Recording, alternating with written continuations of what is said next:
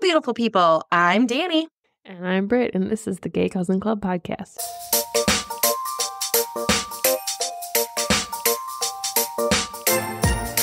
All right. You want to call the meeting to order right away? Well, you just did. So, bang, bang, bang.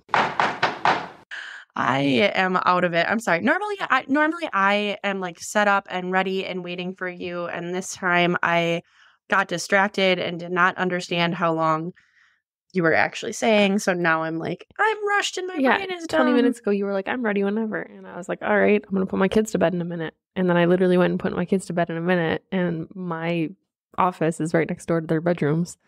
And then you were like, wait, you're ready? Like, what? It, I, I literally, I gave you a frame of time. I gave you a unit of a measurement. You did. You. I was gonna say in my defense, but no, you did. So my bad. Anyway, tell me about your life. How are you doing? I'm, I'm good. My life's not that. I don't know. You always like I have some story. I never have stories. I just I go to work, I come home, and I play with my kids, and I fall asleep on the couch. That's my whole life. It's not very Oh. interesting. I do that too. Um. So well, okay. I guess I do have a story. You always do.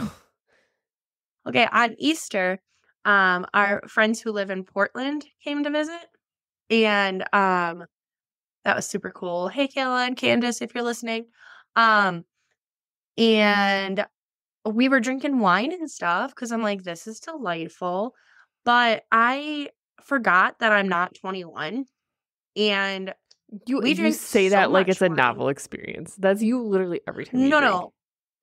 Not every time I drink. Don't make it sound like I have a problem. But No, I mean like every time No. you not like when you have like a beer after work or while we're recording, but I'm saying like when you like go out or get together with friends, you're that's like that's every time. Eh, I guess. But I mean, the problem though was that Easter is on a Sunday. So Monday, I'm like, I'm fucking dying. And like, I don't want to go to work hungover. Like, this is embarrassing. But at least, like, I sit not by people. So by the time, like, I could get it together, then people saw me. And by get it together, I mean just look less tired. I just looked exhausted because Mhm. I was and had an angry tummy. But, you know, that's what you get when you drink a lot of wine and you forget who you are as a person. Mm, Yeah, yeah. You forgot. You went. You went Yeah. forgot. And also, um, you said you you know when you realized you're not 21. When you were 21, you were also terrible at drinking. like Oh my God. Danny? Yeah. Danny. Okay, so Go ahead. I don't know. I don't know if our, Put our friends, if our friends slash former roommates actually listen to this, but if they do, shout it to them and me because we lived with you and we had to put up with you every fucking Sunday, being like, "I'm not hungover, guys. I just have the flu. That happens. People get like a 24 hour flu bug, and we're like, yeah, Danny, but not like every fucking weekend." And like the worst, the worst thing was, it's not like I was just saying it. Like I didn't want to admit I was hungover. Like I, a hundred percent gaslit myself into. yeah, you believing gaslit yourself ten thousand percent, and we were always like, hundred, I know, I know you believe that you have the flu. But you don't have the flu, okay? And, I mean, or looking so, back like, you on would- it, I'm like, damn, you- dummy. you would like lay in bed and be like, I just had the flu, and you'd be all bitchy, and we'd have to like come out the kitchen and we'd be like making coffee and stuff, and be like, so somebody would be like, so does Danny have the flu again?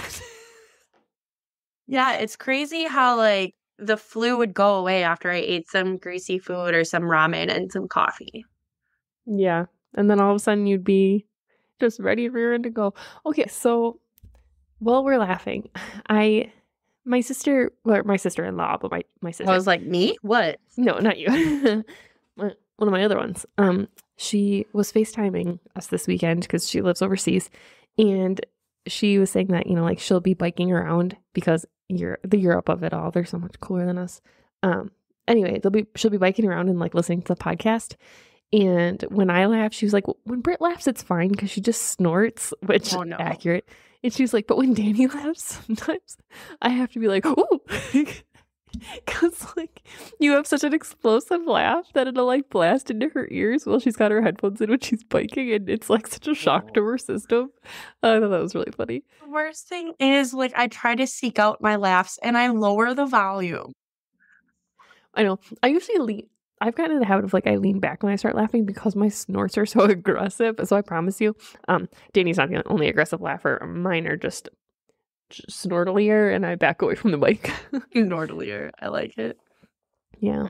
Um, I this is unrelated, but have you had? You're gonna make fun of me because of what I'm drinking, so just I'm ready for it. I will pause. Of course, I, it's sour or cider, and you're gonna call it a beer. It's not. So I'm there. such a hater today. What's going You on? are. Um, it is a white claw, which is why you're gonna make fun of me. Oh no, There, that's fine. oh, okay, You- there you ain't no you. laws when you're having the claws. I Um, will judge you for saying that. Don't say that. Yeah, that's reasonable. But it's one of their new ones, the vodka soda plus real juice. Have you had those? no, I don't. I'm not. I know really a you don't really- person. Like I'll drink it in a pinch, but I'm a tequila. If I'm gonna have liquor, it's gonna be tequila. So I'm pretty sure White Claw makes tequila ones. But um no, Yeah. Kayla and Candace left this at my house and it is a peach one and it was like really strong smelling. And I'm like, oh, this is gonna taste like syrup. It is pleasant. Like this is That's a nice good. summer afternoon beverage. Or And it feels like a summer afternoon today. It's so nice out. oh my gosh. Also, while while you're sipping that and I'm sipping on my haterade, can I tell you why I'm actually being a hater? Because I thought like you were actually calling your beverage haterade, and I was like, "Well, no, what I'm beverage are you having?" Pink wine. No, I look I look out my freaking balcony door next to my desk, and it usually makes me so happy because I just see my street and people are out walking. And I saw a little toddler girl trying to walk a dog. It was comically ridiculous because of course you can't walk a dog. But and then I peek over and I see that same goddamn camper trailer that I told you about over the weekend. Guys, somebody parked a camper trailer in front of my house and like there's a padlock on it and stuff. And they wrote in Sharpie on the door, do not open this door. If you do, you will be on camera and the cops will be called. And they parked it out in front of our house and then they moved in around the block from us. But they left it parked in front of our house. And now it looks like we have this weird, like, and it looks, and the windows are like all blocked with tinfoil. And there's like abandoned vehicle stickers all over it. And I'm not trying to be like, like no, I'm not trying to be a bitch, but it looks kind of meth heavy. It also looks kind of like conspiracy theorist lives in a campery, and that's all in front of our house. And like people be like, "That's so embarrassing." Like I was out on our porch, like putting out chairs because it's nice out, and these people are like walking by and they like read it, like they read what's on the door, and then they like look up at me, and then they like keep walking and like kind of giving me the side eye, and I'm like, I'm not crazy. I just I moved to this neighborhood because I wanted to make friends. I know nobody's gonna be my friend because of the creepy trailer. Okay, not that I think you sound like a Karen, but so that you don't sound like a Karen, can you I do feel like I feel just like wait, a Karen. Can you explain what you were doing when you realized like that Oh, they yeah, yeah. Because When- it when I was wasn't being an adorably sweet. Okay, so it's parked out in front of our house. My husband was 100% being a Karen. Love you, pal, but he knows it. He's being a Karen about it. But so, like, we didn't know that there was anybody in it. Like, we just saw it get dropped off and then it was like padlocked shut, and that was the end of it. And we're like, oh, that's weird because they like put it up on jacks and it's just like, it's just there. And it has all these like abandoned vehicle stickers on it from other towns. And we were like, mm, shit. So he did call it into a non-emergency line because he was just like, I don't know if this is abandoned here. He's like, I'm not looking, you know, basically I'm not looking to get anybody in trouble, but like, what do we do? And they're like, oh, you kind of just wait it out for 48 hours and see what happens, I guess. And we're like, okay, that's fine. And well, I said, okay, that's fine. He was not fine. um, then the next morning, I look out the window and all of a sudden there's like a little kid coming out of there. And I'm like, oh my God, we're like people sleeping in there overnight. And it had gotten cold overnight. We're in the Midwest. Like it's nice during the day, but it gets cold at night. And I was like, oh my gosh, are there people living in there with like no heat? So then I felt like a real asshole. So it was like Easter morning. So I'm like running around, or I was like um, working out, but I could see through the that same balcony door, or whatever, is where I was working out when I saw this all happening. So then I was gonna go put together like a basket or something. Like, you know, we had Kringle sales at the kids' school, so I was gonna get a Kringle and like a bottle of juice and just like I was just gonna bring some food over. And then all of a sudden, Make sure they're okay. Have some food for the little kid. yeah, yeah. And then all of a sudden, in a window on the other side of the house, as I was like going down the stairs, I see like they're going into the house. Like it's like around the block from us, but next door. And I was like, uh, what's going on? And then throughout the week, they've just been taking stuff out of the camper, or throughout like the first couple days of the week, they were taking stuff out of the camper and moving it into the house. And now it's like just sitting there. And they asked my husband, like, if he knows anybody who wants it. And he was like, no, but are you going to move it? like, it's just really And not when you've written on the door in fucking Sharpie, like your creepy meth lab. Yeah. Yeah. And now they're like living next door, so like I don't want to be rude. Like their ball came under our fence for their kids, so I went outside and, uh, and they kind of like waved for me through the window. So I was like, "Oh hey, how's it going?" And I passed the ball over, and like, could I have said something about it? Yes. Am I gonna confront anybody? Absolutely, one hundred percent not. So instead, I was like, "Let's be friends." Also, like, it's not like you would say So that the, the kids, like, hey, have your parents move their fucking well, it was the it was the mom. oh, okay, okay. it was the mom. I was like on the phone and she was like waving me down through the window and like called me outside and I was like, hey, what's up? And she's like, oh, go get our balls. And I was like, oh, yeah, sure. So it would have been like a really good opportunity to be like, oh, hey, you look beautiful in the camper. You just moved in. Um, Can you move it? yeah, I don't know. And the thing is, they have like a, a way bigger driveway than we do. Like, Yeah. Like a parking lot style driveway. Like they could definitely move it to their property. I'm being a Karen. It, it's whatever. It's fine. That is what it is. I promise I'm not normally a Karen. It's just I feel Like you, you. just like I wake up every morning and I look outside and I'm like, Okay, that still part there." sounded Karen-y, but otherwise the rest of it, I'm like, I feel like it's more just this is really awkward and weird.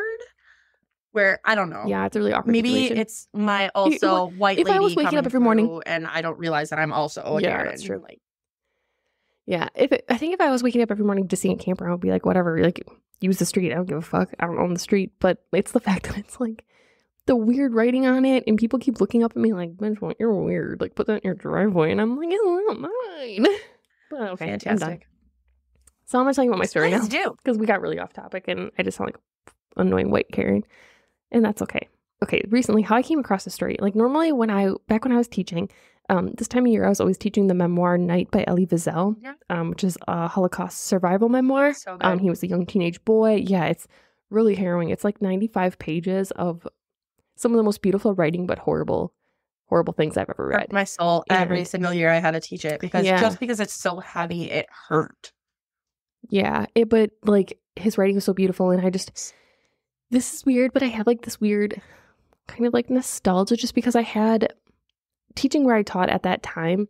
It wasn't always like the most open-minded people, but reading that book and understanding that it was like a real person's experience helped a lot of students just stop and be like, "Wow, that's fucked." And then we some students would bring up like current events that they felt like were similar, and they'd be like, "How do people still believe stuff like this?" You know, and it was just a good experience and I always appreciated it. It was like emotionally taxing and it was like a lot of mental work for me, but I always felt like I came out the other side of it having like we did something good, you know? Yeah. And over the weekend I wasn't doing anything good. I was just scrolling TikTok and being a Karen apparently. And um I just happened across this story about Dutch Nazi resistors and it felt like the universe was telling me, like, girl, you're supposed to be teaching about this. And I was like, you know what? You're right. It is that time of year I'm supposed to be teaching about this. Because, well, the reason it was always in April, Wait, well, like, it, was, it always fell in April, which was always, like, really interesting for my students because we would be ending the memoir right around the same time that Elie Wiesel was liberated from the camps. So it was, Mhm. like, al- almost on the anniversary. And we're kind of around that time right now. So I just feel like it's the right time to tell are, the story. are you doing? Because oh, you know the you are- story. Don't no, ruin it. Don't no, ruin it. no, no, no, no, no.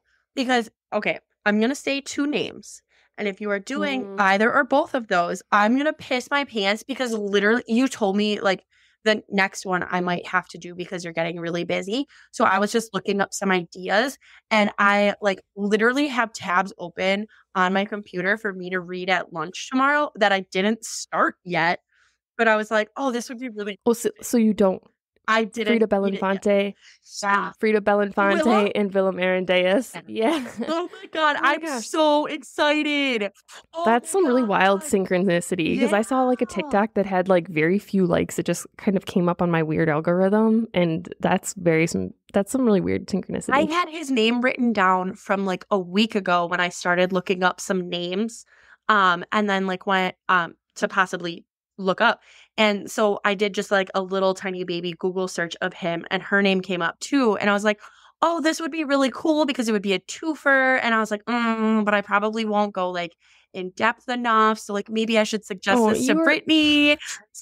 No, you're such a good storyteller. I'm excited for yeah. So just so you guys heads up for you guys, um, I'm heading into like a very I'm in a very busy season at work right now, um, and next week it's gonna get really fucking wild. So I'm just gonna have zero bandwidth left. Like today, Danny te- when Danny texted me, I was out cold on the couch because I'm so exhausted. So she's gonna be working on researching our next story, and I know she will do wonderfully because she did really great last time. But oh, you know what? Another weird synchronicity. I mentioned my sister this early at the beginning of the episode who lives overseas, and now we're talking about Dutch resistors, and she's living in the Netherlands. I just feel like Oh, that's things I thought it was really cool too, because I'm like, I know that she listens Yeah. frequently, so that would be really cool to do. This is I'm Well, and while excited. we're at it, shout out to my other shout out to my other sister, my husband's other sister. You're awesome too. You just you also live in like basically the same town as me, so I didn't have a story for that. but Have you in law in laws? yes. All right, let's get into it. This is so cool. I'm so excited So- now.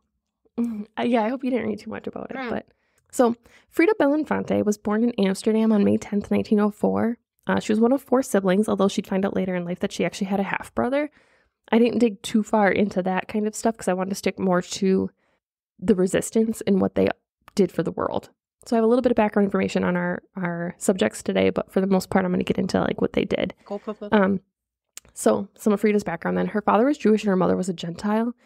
Um, and she actually recur- recalled being encouraged by her father to explore whatever li- religion he wanted. She wanted, and he said um, there was no church in our life designated to be ours. I So, ve- like, love very that. open-minded. Yeah, I think that's a really cool way to look at it because I'm not religious, eh, but like if that's something my kids want to pursue, I need to check some of my religious bias and like experiences that I've had because theirs could be much better. Mhm. So I think that's a good way of looking at it. So Frieda was also born into a really musical family. Her father, Aaron, was a pianist and a teacher in Amsterdam who was the first um, pianist to present the entire cycle of Beethoven piano sonatas during a single season at the Amsterdam concert. And then the rest of that is very Dutch, so I don't know how to say it. But That sounds really he was a cool. big that was a big deal, so that's cool. Yeah, the apple definitely did not fall far from the tree. Uh, Frieda was receiving training as a cellist by age 10. And although her parents divorced around this time and, you know, she like split her time between mom and dad's houses, um, she still maintained her cello lessons because it was really important to her. And she actually went on to graduate from the Amsterdam Conservatory and made her debut accompanied by her dad on the piano, which is so cool, Oh, at the age of 17. That is heartwarming and really impressive. Yeah. For a woman, too. at Yeah. that time. Yeah. And like I said, I'm not going to go too far into her life. I want to focus more on the group as a whole. But I think this is just important to see here that the arts were so near and dear to Frieda, and that's not something that she was ever going to be willing to give up. And we'll see that like as all hell breaks So um I, I Um, want to cut in really quick. I I realized yeah, go for it. I realized this afternoon when I was like looking into it that I had listened to a podcast episode about her. Um Mm, but but it was like only a half hour podcast and like it was more of like dipping the toe in the water where like I find her fascinating, but I realized that this was like a year or two ago. So I feel like parts of this I'm gonna be like, oh yeah, I totally remember that. But so much of it, especially if you're focusing on the group aspect, I'm like, I have no idea and I'm stoked. Okay, good. I'm glad. I mean, either way, it's an awesome story to tell, and I'm just so in awe of what they did. But I'm glad that it's still going to have some surprise for you. So, you know, like I said, um, she was going to keep pushing to be involved in the arts, even as a woman. Um, so much so that in 1938, she actually conducted her first orchestra, totally defying the norms, and became one of Europe's first female conductors of a professional orchestra. So fucking cool. So, yeah, we can already see that when like Frieda wants to do something, it's going to take a hell of a lot to stop her. And she even said once when she was told that something wasn't possible, that her response was always, "Well, we'll see about that." And I Sounds just that. like our other Frida we did. Different spelling, but yeah, yeah, absolutely. And uh, that includes also just like living her truth, like who she Mhm. was. Frieda was a lesbian, and although she was even married to a man for a short time at one point, she was never going to hide or deny that part of herself. And she told her husband flat out who she really That's was. And her her first true love was a woman named Henrietta, a pianist and a composer. So you can imagine what they probably you know hit it off over. Um, and they went on to live together for seven years. After that relationship, Frieda, you know, she had been with other women, but with all of them, she was not concerned about people knowing. She said, I just lived my life and didn't explain anything to anyone. People found out when they found out. so fucking Like, cool. That is really- admirable. Yeah. Yeah, at that time, holy cow. And, and, you know, around this time, Frieda had bigger issues to be concerned with. You know, the Nazis are rising in power. Frieda began to fear for the safety of her friends and loved ones. Remember, she's half Jewish, so this didn't necessarily make her a direct target for the Nazis, but it did certainly affect a lot of people that she cared about. Frieda also had to be concerned about the Nazis' notorious paragraph 175, like that part of their criminal code that named homosexuality as a Uh, uh-huh. crime. Specifically, though, it did name homosexuality amongst men, as we saw in many laws, Yeah. in many of our stories.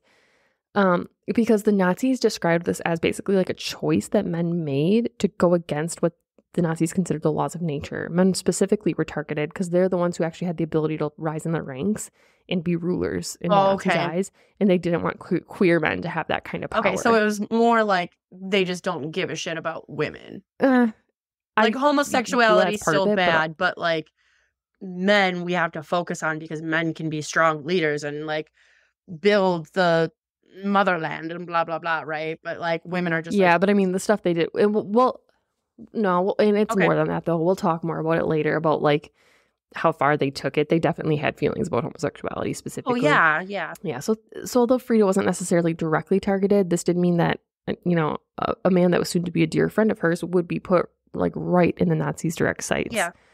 Um, and that brings us to a little bit of background on that notorious man named Willem Arondeus. He was born in 1894, so he's a little bit older than um, Frieda. He was born to a non Jewish family. He was one of six kids. He grew up in Amsterdam. Like Frieda, his family was also deeply embedded in the arts, and his parents were both costume designers. Unlike Frieda, though, it seems like there wasn't as much open mindedness. Um, his relationship with his parents was really, really rocky. And at the age of 17, he left home due to his family's inability to accept his homosexuality, and he severed all contact with them. Um, So during this time, Willem turned to the arts and began both writing and painting. Um, he was super talented, but he was definitely living that like struggling artist life. Um, eventually, he was commissioned to do a mural for the Rotterdam Town Hall, which was pretty huge.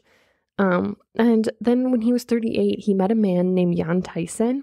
And just like Henrietta and Frieda, they went on to live together for seven years. So, Oh, synchronicities. yeah, that's really interesting. hmm So during this time, like I said, Willem was living this like kind of starving artist life. He was definitely struggling like financially a lot, um, but he knew it's the life he wanted, so he kept pushing. He found small jobs, designing posters, illustrating poetry, that kind of stuff. Um, where his success came though was he eventually went on to write the biography of a gay Dutch painter named Matthijs Maris, and I'm super sorry if I pronounced that wrong. I looked up a pronunciation, pronounce names. Um, and after the the book was published, like I said, his financial situation is improving. It's a relief because he went pretty unrecognized for about a decade. Um, So, do you think it's that like his important- work wasn't like quote unquote good enough, or was it more just like that it wasn't like the style of the time? I don't know. I think it could be a combination of a number of things. It could be that he was openly gay. Oh yeah, duh. Um, it could be that it's just that's just the life of an artist. Like it's really hard to get exposure, to get people to notice you, take you seriously, to make money. Suppose it's not like it's just So- you just plug away into an algorithm, lol. Um, and like there you go, you you have it. It's like it's hit and miss. Okay. Yeah.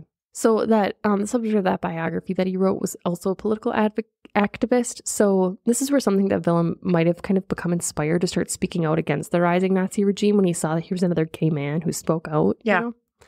So he was shocked and disgusted by what he saw happening to the community. On top of the pain that he already felt about the laws that existed prior to Nazi invasion against queer people like him, he saw it becoming a problem before people realized this is truly a problem. You know, like before the Dutch had to surrender, like he was like, this is not okay. Like he was ready to He do saw the writing on the wall right away. for sure. But then specifically when we talk about what could happen to the queer community, um, so through my research, it seems like for the most part, the Netherlands are seen as kind of like the origin of queer rights, which is super cool.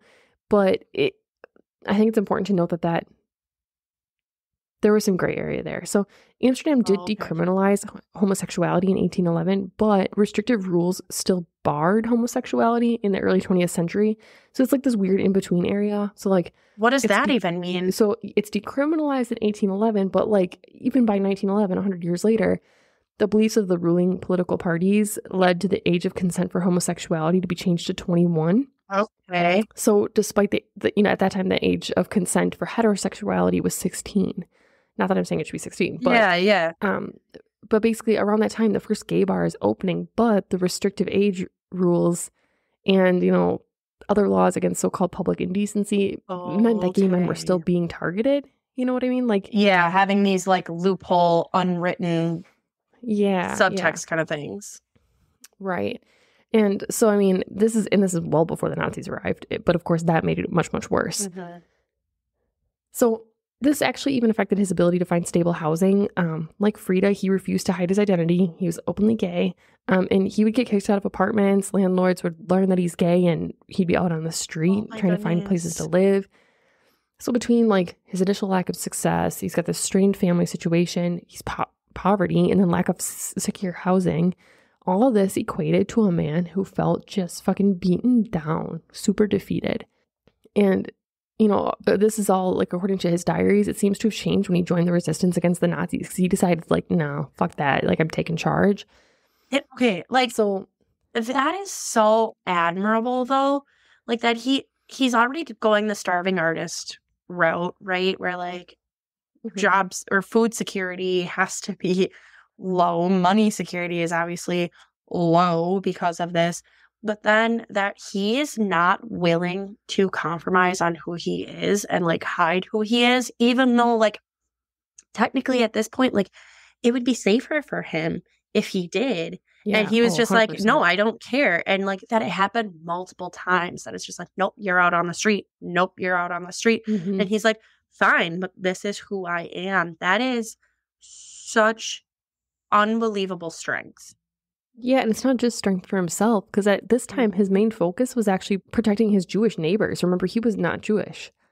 So he saw this impending threat from the Nazis coming. Yeah. And he was also, of course, well aware of what could happen to the LGBTQ community, Mhm. what was already happening, um, which kind of give you some numbers there. In Germany, at least, um, not speaking to the Netherlands necessarily, but in Germany, over 50,000 gay men had been imprisoned by the Nazis. So there was a real and imminent danger for his community. You know, and of course, it's hard to know for sure, but it's estimated today that between 5,000 to 15,000 gay men were sent to concentration camps where they were abused, murdered, and then there were also experiments done Mhm. experiments to see like if you could change them. It's like that's torture. It's not experiments, it's torture. Yeah. So At least there it's Yeah. closer to the truth than conversion camps. Because there it's therapy, but at least there they're so like, no, we're experimenting. It's And torture. then- yeah. God, that's disgusting. man. So now we're at the part where they come together. Our team comes together. We're building this resistance, right? So Willem and Frieda bonded initially over a love of the arts, um, which was also something that the Nazis got their dirty hands all Yeah. over. Um, if artists and writers like lucked out and their work wasn't being completely destroyed or outlawed, they would have had to still register for any like amount of success with the Nazi Chamber of Culture. So as you can imagine, they're obviously going to ne- neglect to include Jews in representations of like yeah, definitely. Yeah. So not long after the Nazi invasion, Frieda basically disbanded her orchestra and she told them like, "Men, there isn't going to be an orchestra anymore. Like they're coming for us next." So Just chills. you know, you know, she could have been really defeated, but she kind of had that attitude like Willem, where she wanted to do something about Mhm. it. Willem saw his gift as an artist as a tool for revolution, which I think is so badass. He began writing That's anti-Nazi cool. works, yeah, and like proliferating these anti-Nazi works, which was obviously illegal. Uh-huh. Um, and as his friendship with Frieda grew, they, along with another group, with a group of people, established a fund to help creatives who couldn't find work under the Nazi regime to financially support these other people like so amazing. who didn't have financial support. He helped organize financial support for other starving artists, and I just think that's so cool. That's so fucking cool. Yeah. So shit continues to get worse, as we know all too well. Stuff's progressing. Frieda and Willem are seeing the Jews be brutally persecuted by the Nazis, and they're ready to fucking do something about it. Willem's been ready. He's like just been waiting for somebody to get on board with him. So at this time, not only were Jewish people being required to wear the yellow Star of David to identify themselves, their ID cards were also stamped with the letter J. So basically, even if they like can pass as Gentile without the star, like if they were able to like, you know, kind of like be undercover, um, they still have to show their IDs. Like so like to get out in and out of the country, they're fucked. So enter our pals Freedom and Willem. They start creating fake IDs. Artists. So this, yeah, exactly. So it kind of seemed like this might have been like Frieda's brainchild. Um, she would get non-Jewish friends to give her their IDs, and then she would swap the photo with that of a Jewish person's, and then of course like doctor the information. And as like things grew, Willem's artistic abilities definitely helped make these passes like true IDs. yeah, yeah. So that's not to say this was like entirely smooth sailing. This was dangerous. Yeah. And in one instance, Frieda, she went to visit the home of some Jewish people who were getting IDs from her because she'd been waiting for them and they didn't show up. Two German soldiers answered the door. and they're like raiding the house. Oh no. Yeah, yeah, yeah. So she bolts. They're suspicious, obviously. So they follow her Mm. back to her home, and she's like, "Shit! Like I have all the shit around here that I make these Yeah. IDs with." What the fuck? Yeah. So she has to hide the IDs to make sure she doesn't like ruin the whole like game they've got going, basically. But the guards end up suspicious about the amount of food that she has because they think she's housing Jews. So she still gets arrested. The fuck? So there's like, yeah, yeah. So there's like some intense questioning, but they never found the IDs. So basically, oh God, I love women. She basically just decided to be super fucking annoying and told them a bunch of random ass stories and details that they didn't need, like didn't have anything to do with anything. And eventually they just let her go. They were like done talking to her. I love I- that. Snaps, snaps for Frieda. I fucking love that for her. Use misogyny for your own gains, baby girl. if they think you're a dumb woman, but you're actually a fucking mastermind, that's on them. Oh That's my gosh, I just made this amazing casserole the other day and oh wouldn't you just love to get that off to your wife, don't you know? Yeah, if it took place in the Midwest. They're like, I don't care about your tater tot dish. yeah. Well you should, because So- it's delightful. I actually had tater tots tonight for like the first time in probably like 15 years. They're so wonderful. What? Yeah, because I associate them with like tater tot hot dish or tater tot casserole, which I don't like. I don't like casseroles. So I don't eat them. And we had them tonight for the first time in forever. And I was like, I was like a kid in a fucking candy store. I was eating off my kid's plate. I was just hoovering them all up. Tater tots are like a cornerstone of my diet. Because That's what you I am with a child. And I fucking Same. love potatoes. Like the the variety of uh, French That's fried That's- type products that I have in my Oh, freezer absolutely. at any given time. it's a cornucopia, if you will. Yes, it's amazing and beautiful and kind of disturbing. True. I will be the cause of the next great potato famine.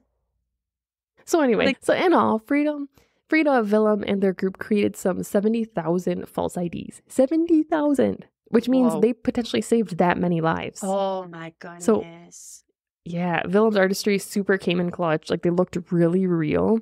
But the Nazis start to catch on to these forged documents. Like the numbers aren't numbering, you know? Okay. So they realize there's a pretty straightforward way of finding out what's fake and what's not. Even though like these uh, like these, you know, doctored IDs were pretty Good. pretty impeccable. Yeah.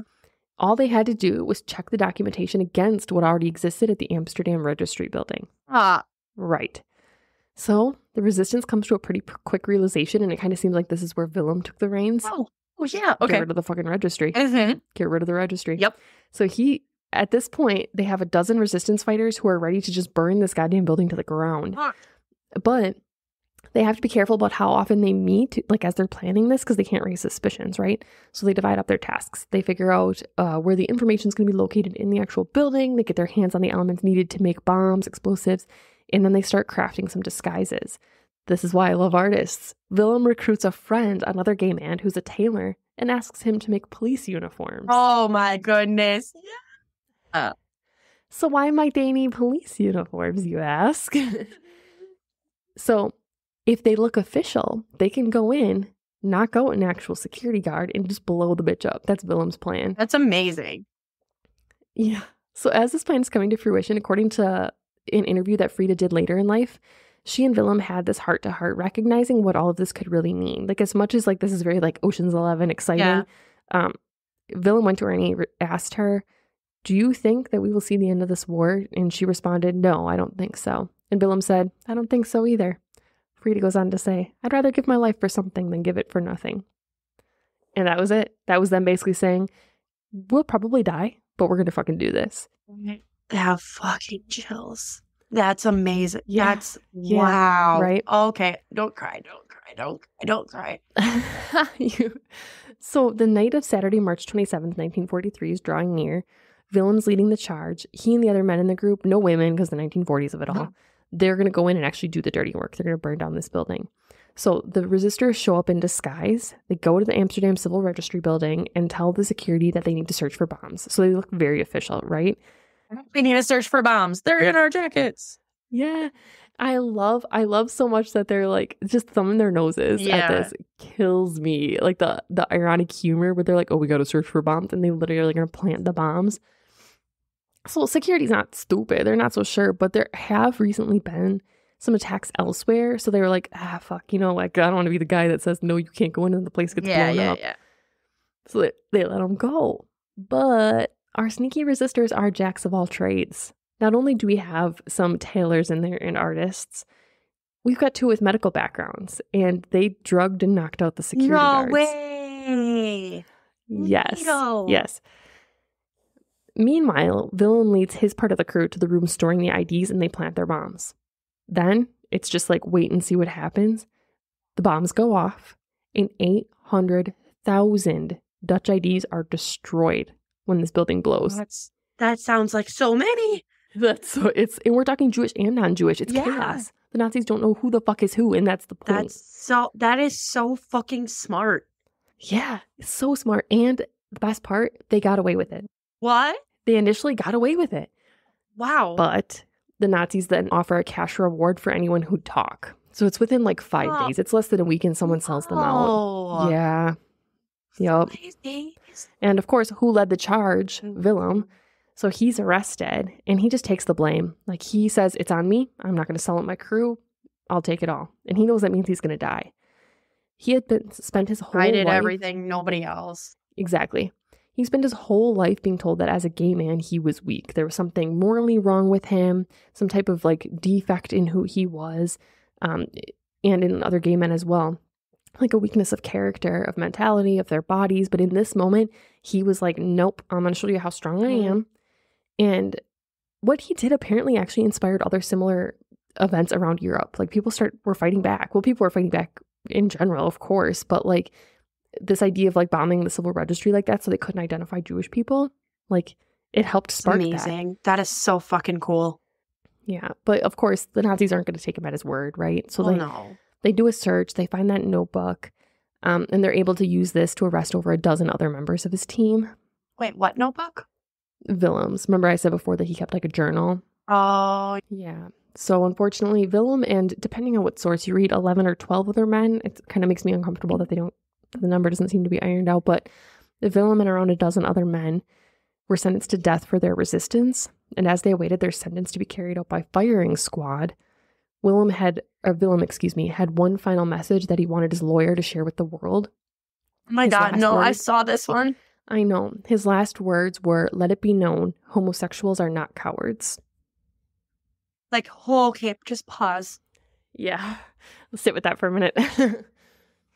Well, I literally have full body goosies right now, and I mm-hmm. knew what you were gonna say. Like, I saw that, and like, that is so fucking powerful, especially because you said that, like, his actions, his bravery inspired others to do the same. So, like, how many countless thousands of lives got Yeah, saved because of his Absolutely.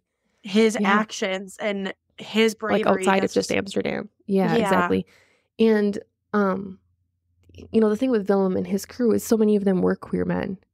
So like him and some of the other people that were murdered that day were also really brave queer men and they just were not being recognized as such.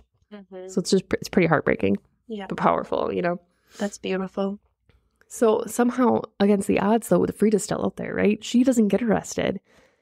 She knew, like, it can't be long. Like, my days must be numbered until the Nazis start hunting me down, just like they had Willem, and she had to go into hiding.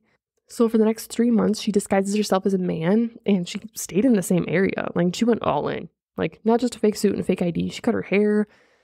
And it seems that her disguise was so convincing that she even fooled her family. She later said that she was like walking down the street and she passed by her mom, and her mom didn't recognize her. She just thought it was a man. Oh wait, that is Yeah. insane. Yeah. Frieda eventually decides like the heat's getting too hot. So she's going to leave the Netherlands because she doesn't want, basically, she has friends helping her, like this network of resistors, and she doesn't Yeah. want that blowback coming on them, you know? Yeah, So she's like, yeah. I got to get out of here. So it's winter, cold as fucking hell. And she and some other survivors escape on foot and they cross the Alps on foot to make it into Switzerland. Crossed the Alps on foot to make it into Switzerland, where she would remain in a refugee camp. That's wow. Yeah, the strength of these people is wild. So, and like during her time in the camp, like going back to the arts, she started giving music lessons to young girls. So it just seems like you know what's near and dear to her. Mm. It's like sticking up for people and it's music. Um, but unfortunately, these kids were fucking assholes. They started talking shit about her being a lesbian, and Frieda basically just told them, "I don't give free lessons to people like that, so it's finished. You're not going to practice on my cello." Like, Good for her. yeah. That's amazing. Good for fucking Yeah. her. So eventually, you know, after the war, she does head back home, but she chooses to leave um, in 1947 and goes to study in California. Um, and in California, she does resume her musical career. She forms and conducts the um, Orange County Philharmonic, which is a huge deal. Yeah. Unfortunately, people fucking sucked there too. Like they sucked everywhere. Um, and she faced bullshit about being a female composer and a lesbian. She was so over that shit. So, you know, she's dismissed in 1962 because of this. And she moves to New Mexico and teaches music. And then, of course, 15 years later, Orange County acknowledges her contributions and declare a Frieda Belinfante Day. Like, a little too late, dicks. Yeah. Like, you, God, you had a bad bitch. you did. and you fucked her over. Mhm. But I love though that like she's like, I'm not gonna stay around where I'm not wanted. Like, go fuck yourself. I'll go make a life elsewhere. Yeah, she's not going to live in the closet to make you comfortable. Yes. Just like Yeah. Willem and his Mhm, goddamn exactly. landlords and whatnot. Exactly. Thankfully, though, Frieda, unlike Willem, lived a very long life. Um, she would go on to live until the age of 90 when she passed away on April 26, 1995, from cancer. So, some of these quotes that I've referenced from Frieda. I was were from an alive at the same time as her. We were, we were alive at the same time as I her. I mean, exactly. briefly, but oh, Yeah, that's isn't that strange? Like this history is not that long ago. It's not that long ago, and I think that's what people forget. Yeah. Yeah. So that I've referenced um, Frieda's interview a couple times, like some direct quotes from her. And the reason I have those from her and not from Willem were because um, in 1994, she, so within a year of her death, she relived all of that trauma so that she could share her history and Willem's with the world when she did this um, televised interview. Again, the strength of it. She's like, no, I'm not going to let this story die with me, even though the trauma of having to retell it all. And that's the thing is, it could have died with her because up until this point, Willem was all but forgotten. His contributions, the fact that he led this charge that saved so many lives, was ignored because he was a gay man and the men he resisted with were gay.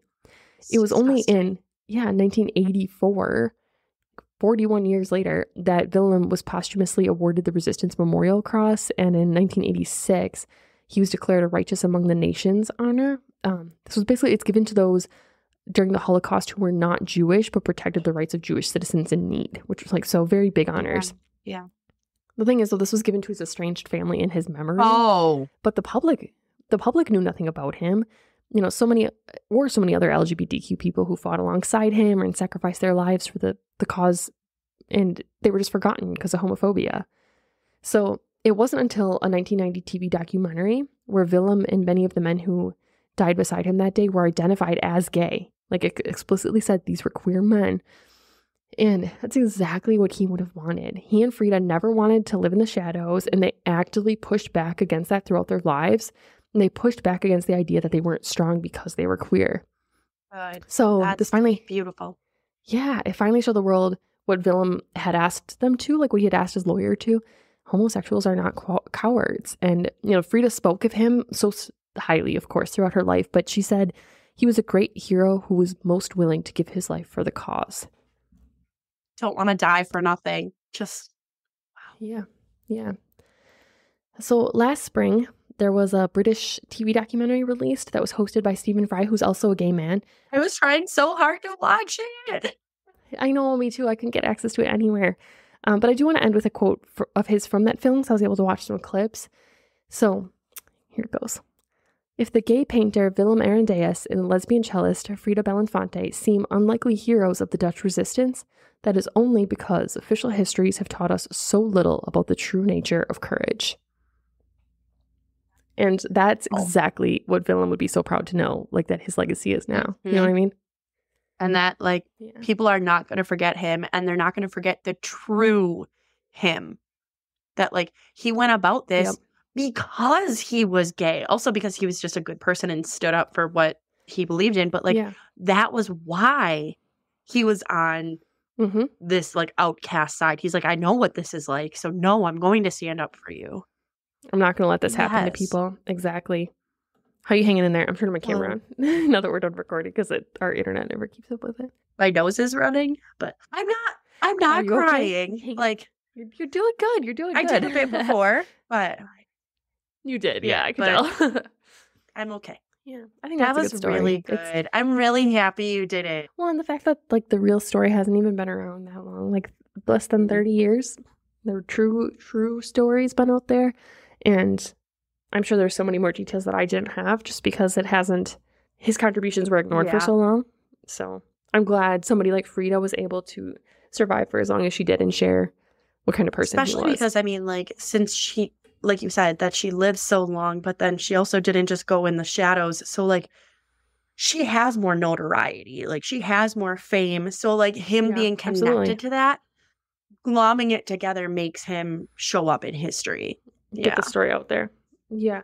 Well, and also I would like to give credit where it's due. The Holocaust Memorial Museum is expanding every year to include these stories, you know, and they had such a big push to get these stories from people before they passed away, and that's where a lot of my really good information comes from.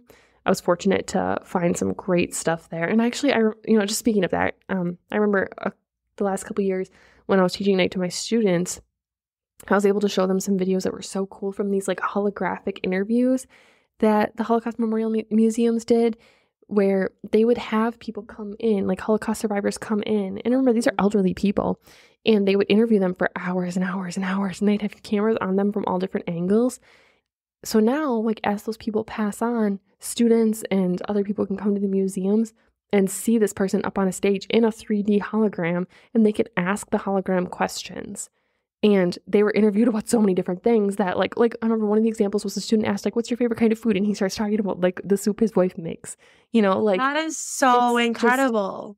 but it's like one thing to hear the story by like reading a book or an article or hearing some dipshit podcasters talk about it but like it's entirely different to see the person telling their story and hearing it from their voice like the gentleman that I'm talking about from the video I saw he was talking about his little sister and how oh he like sees her every day still like in his mind and she she passed away as like a really young child and because of the camps of course like when they were separated and he still sees her every day and when you just hear his voice break it's just oh my god it's it's real enough Yeah. reading about it Don't- don't get me wrong i'm not saying it doesn't feel real but like it's just so important i think especially in the like cultural climate that and we're unfortunately in right now where this is used like as a political talking point where people are like oh talk about It's both not. sides there's not a, both a sides to lot of the time, there's not there's two atrocities sides to our stories that we tell. well this is atrocities Yeah. against humans like there's not any kind of side where that was uh, No, justifiable. You know, so I think it's so important to hear the stories from their words too. So like I definitely encourage people to kind of get out there and like look this stuff up because I enjoy telling the stories and like being able to share that information.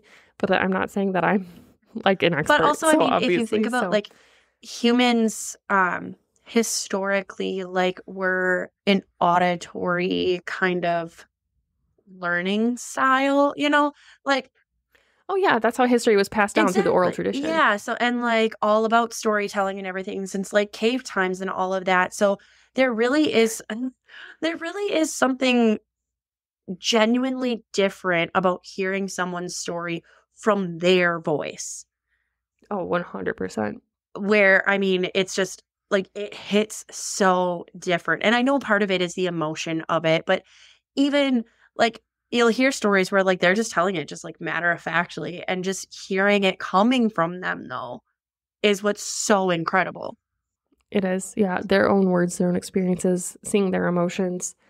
Yeah, I think it's important. And that's definitely somewhere I want to take my kids to see that when they're old enough that they can really appreciate it. Because by that time, of course, there's not going to be people left. Like when we were in Yeah. school, I remember we got to hear, like, we got to go to a, a, synagogue and hear a story from a woman who survived. And of course, there were we were middle schoolers and there were kids acting like assholes. But I was just Mhm. sitting there, like, trying not to cry. I was like, I can't believe this woman is here to tell us all of this. And like, she just goes through and relives this story every week, you know? I'm so mad that I don't remember it. I remember the trip down. I remember where we went afterwards for food. But I and like I remember going in the synagogue, but I don't remember what she talked about or anything like that. And that makes me so sad. But also oh, like yeah, I, I have, was a like seventh- kind of flashes yeah. I was a seventh grader. Like 12 year old. yeah, Yeah. like I was very concerned about the boy I thought was cute was near me and ugh, like, Right. yeah. Right. dumb shit. c- yeah. I can't.